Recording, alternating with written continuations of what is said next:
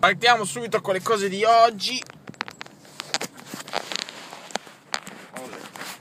Allora, eh, ho, setta- ho, guardato un settaggio lì su quella, quella, app che vi avevo detto, Life 360.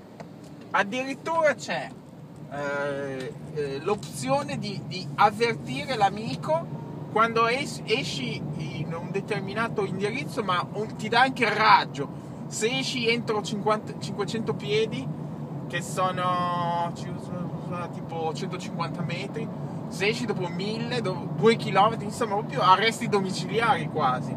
E la polizia sicuramente avrà un sistema similare quando usa i braccialetti elettronici in America. In Italia il braccialetto elettronico secondo me non c'è, no?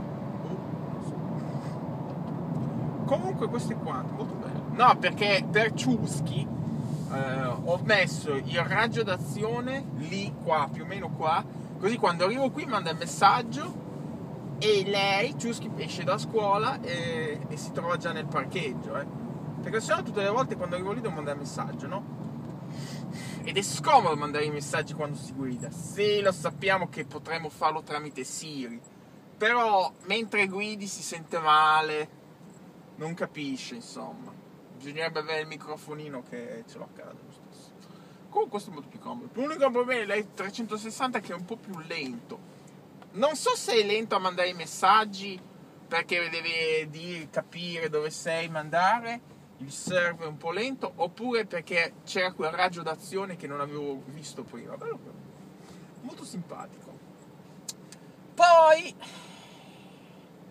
um,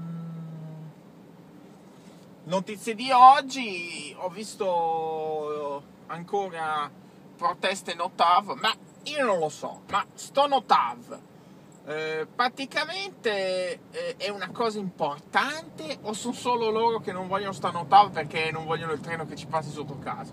Perché a me sembra che solo questi qua della Valsusa rompono le scale, poi a cosa gliene frega uno che sta a Napoli de- della Valsusa? Io non lo so avranno altri problemi. Secondo me, boh, vabbè, dicono che c'ha l'amianto, le cose. Però intanto ci fanno spendere eh, 90.000 euro al giorno. Cioè, fanno ritardare i lavori. Secondo me, alla fine, ormai è deciso, la, la TAV si fa.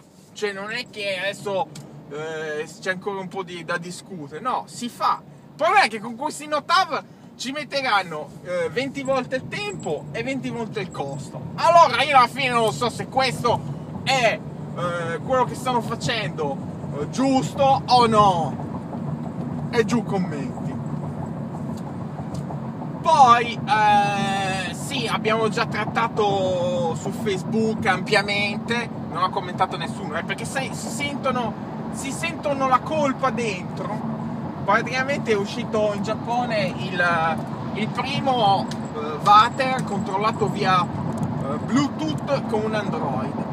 Ma io mi sono subito pensato una domanda, ma se uno uh, che sta lì sul cesso a controllare il Vater da YouTube lo scarico dell'acqua tramite il Samsung e se sbaglia si pulisce con un Samsung? e questo è il primo pensiero che mi è venuto in mente poi e magari sto gabinetto avrà anche eh, delle app potrei installare le app potrei installare l'app di Twitter che ti manda messaggi a tutti i miei amici ho appena fatto la cacca ovviamente hashtag hashtag cacca vater la marca si chiama Lixil Lexil una specie che mi ricorda anche la parola lassativo no? marca perfetta per un water perfetto. Oggi ho visto la pubblicità che ha fatto la Fiat per il mercato americano, per la Fiat 500, abbastanza divertente. Praticamente c'è due americani che vanno in un concessionario e ordinano una Fiat L, che è una 500 eh, più grande, no? large, e dopo quello gli dice ah con uh, ogni fiatelle viene una famiglia italiana in omaggio dietro nei sedili dietro e allora, allora questi due americani iniziano a, a, guidare ci sono questi che parlano dietro in italiano no? sono sottotitolati in inglese con accento un po' napoletano non lo so del sud e non capiscono niente, poi alla fine, eh, alla fine anche gli americani si iniziano a parlare italiano e vissero felici e contenti. Abbastanza divertente.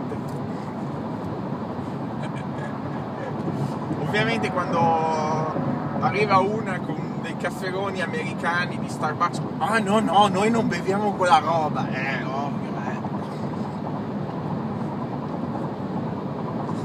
Bello, bello, guardatelo tutti. Ovviamente la Fiat, non so chi ha fatto questa campagna, ha dovuto dosare bene, perché altrimenti dopo si offende gli italiani, sai quelli lì, quelli con i baffi neri, eh, vestiti di nero, che quando bussano alla porta con irruenza dico chi bussa, dopo dice eh razzista, catalogati male. Allora non hanno messo la classica donnina con il tutto nero, il vestito a pallini bianchi, quelli, quelli belli, no? tipo soralella. Sono stati un po' generici. Molto bello.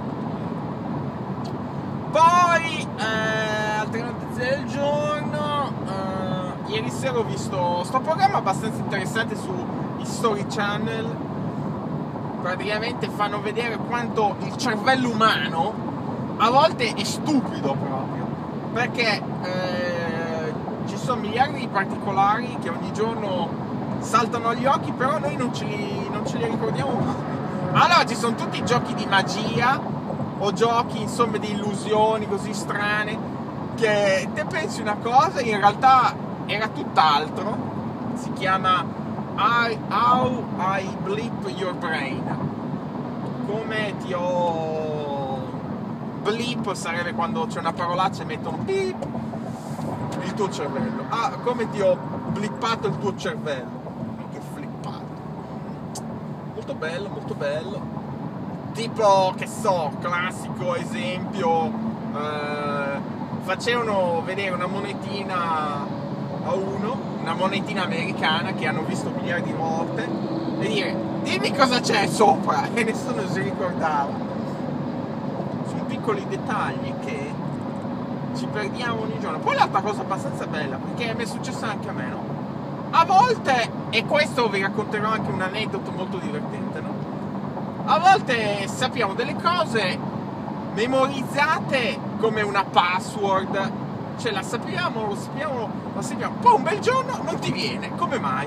Perché ormai il cervello l'ha messa del, nel tipo è una cosa che eh, è una cosa che faccio tutti i giorni, quindi eh, alla fine non se la ricorda neanche, adesso non mi è venuto da spiegarlo, però eh, è una cosa che eh, non ci presti più attenzione, quindi il cervello la fa più in automatico che andarsela a ricordare veramente, no? Tipo Allora, l'aneddoto era molto divertente, praticamente eh, in Lynch, Lynchburg, Tennessee, c'era un omino barbuto di nome Jack Daniels che inventò il whisky. Lui teneva una cassaforte nel suo ufficio e conosceva solo lui la combinazione. Allora ogni giorno andava a aprire la cassaforte e vedere quanti soldi c'era, mette soldi, toglie soldi. Un bel giorno, ma anche altre volte che gli era già capitato, lui non si ricordava la combinazione, ma se la previ tutti i giorni come fai a non ricordarti la combinazione? Allora, questo per il motivo che ho spiegato prima, no? Allora, allora lui dà un calcio forte alla cassaforte che gli si spacca il dito del piede e dopo sei anni muore per quello. Quindi scrivetevi la password del bancomat sul bancomat, così non ve la dimenticate. Eh, eh sì, è consiglione. E questo è quanto. Poi vabbè, c'erano altri esempi. Trucchi... C'era uno che faceva il trucco di magia, no? Però in realtà te stavi attento alle carte e poi alla fine ti, ti chiedeva di che colore avevi i capelli, non lo so. Ah no, c'era c'era un trucco di magia. Io ovviamente attento alle carte, cercare di capire il trucco, no? In realtà sì, praticamente la donna che faceva il trucco di magia si scioglie i capelli. Quello che faceva il trucco di magia, il, il passante, diciamo, si scambia, quindi ne viene un altro.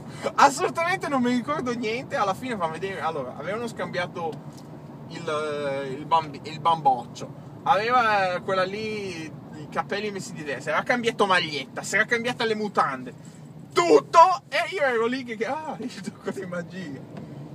È molto bello, guardatelo. Prendi Ciuschi. Eh, ma anche Ciuschi c'ha proprio una memoria proprio fotografica, eh. Ieri è venuto uno che ci raccontava della sua memoria fotografica, non so, è entrato nel discorso della memoria fotografica e poi ha tirato fuori una parola che sfido chiunque, qualsiasi americano, a, di, a, a scriverla giusta. Si chiama Eideic, Eideic, perché si pronuncia come identical, no? Più o meno, identic, ma si scrive tutto diverso. Si scrive con la Eideic, Eideic, una roba così. Mai sentita tra l'altro, neanche in italiano, anche in italiano non c'è traduzione. Si scrive proprio così, sarà non lo so, ci guarderò. Vuol dire tipo memoria fotografica. E questo è quanto. Altre notizie del giorno? Ah sì. Uh, Manning Coso, quello, quel militare americano che aveva uh, trafugato dati segreti e, e, dati a Wikileaks, è stato condannato a 90 anni di prigione. Eh, se proprio ma secondo me perché lui era giovane, lui pensava ma che niente di che, ho sti dati, CCC li do.